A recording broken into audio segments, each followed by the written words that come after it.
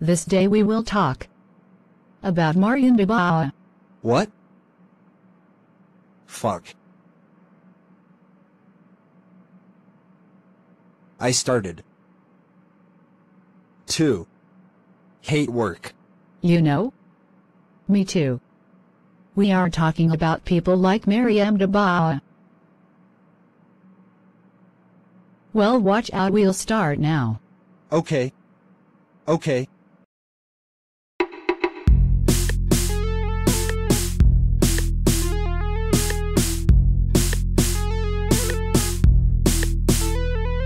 Welcome to Bridge News.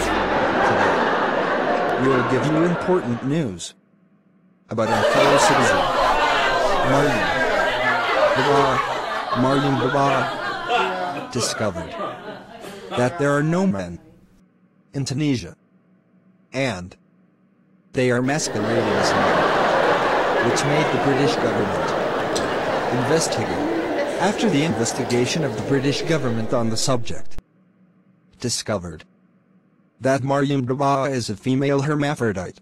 And this is the that made her not want to get married. And embarrassing it. See you soon. With less time.